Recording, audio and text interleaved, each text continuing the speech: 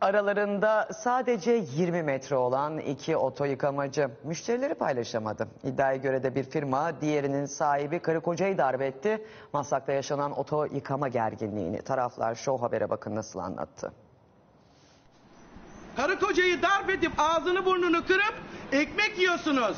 Yalan mı bunlar? Şu an inkar ettikleri her şey raporlu. Her gün buna maruz kalıyoruz. Müşterileri paylaşamadılar, kavgaya tutuştular. Oto yıkamacıların gerginliği iddiaya göre darpla bitti. Karşımızda oto yıkama, otopark işleten şahıslar e, bizi ve eşimi darp ettiler. Biz iftiraya uğruyoruz ve artık hakaretlerine tahammül edemiyoruz. Dövdük, oh bir daha gelsin bir daha tekrar döveceğiz dediler. Namusuma çok ağır küfür ettiler. Hala.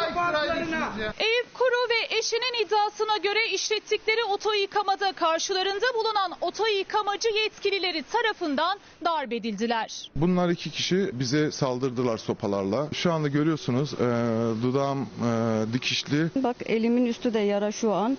Dudağım zaten yara. Buradan bizi e, bizim çıkmamızı istiyorlar. Müşterilerimizi kapıyorlar. Benim müşterilerimi çalmak için bakın e, şu okları yaptılar. Görüyor musunuz? İddiaların hedefindeki Uğur Çolaksa suçlamaları kabul etmedi. Daha öncesinde beraber iş yapıyorduk.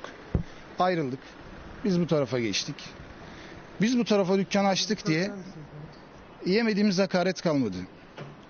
Her gün tahrik ediliyoruz. Şu an inkar ettikleri her şey raporlu. Tamam, her gün buna maruz kalıyoruz. Bakın o iki oto yıkama arasında yaklaşık 20 metre mesafe var. Kocam için senin kocanı öldürteceğiz filan tehditlerde bulundular. Eyüp Kuru o gün olanlardan sonra darp raporu aldı. Devletten yardım istiyoruz artık. Eyüp Kuru savcılığa suç duyurusunda bulundu.